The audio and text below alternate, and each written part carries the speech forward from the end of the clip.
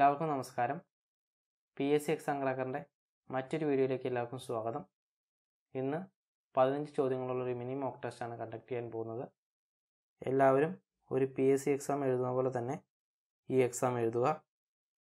എല്ലാ ചോദ്യങ്ങൾക്കും പത്ത് സെക്കൻഡാണ് ടൈം ഉത്തരം എല്ലാവരും ഒരു പേപ്പറിൽ മാർക്ക് ചെയ്യുക.